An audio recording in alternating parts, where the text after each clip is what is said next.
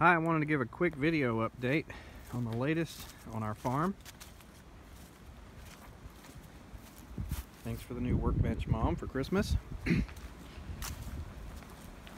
Thanks to AJ for loaning me his tractor. We are building a new greenhouse. Stephanie wanted a greenhouse. Grow some nice plants in. She has any extras, we may have them for sale. We'll just have to see.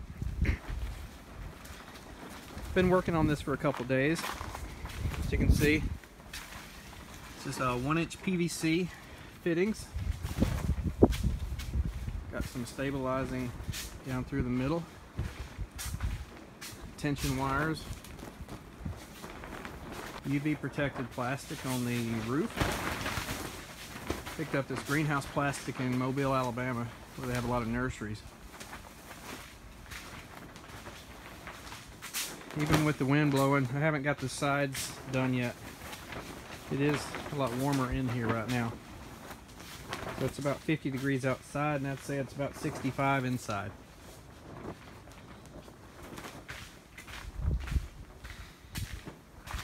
I level the dirt with the tractor.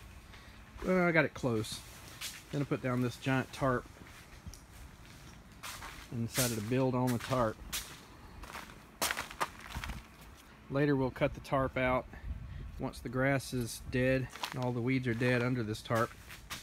We'll cut the uh, tarp out from under it or just uh, pull it out from under it and uh, put in some uh, compost and some other dirt so we can grow straight into the ground right here. We will have some shelving, um, probably about this high, about three feet high, come out about 30 inches, 31 inches, and put trays along the inside uh, upper and lower levels for plants.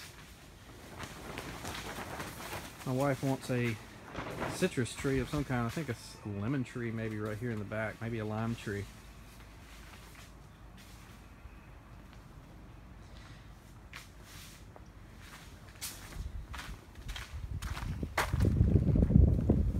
Is kind of lightweight with PVC, so we've uh, staked it down help with the wind. I'm gonna put some more stakes in. See, it's pretty windy today and the wind's kind of blowing it around.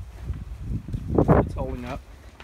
I've barely got it, uh, the tape in. I don't have it all the way fastened or anything. Got these uh, T-posts and wire.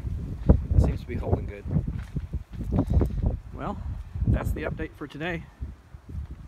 Thanks.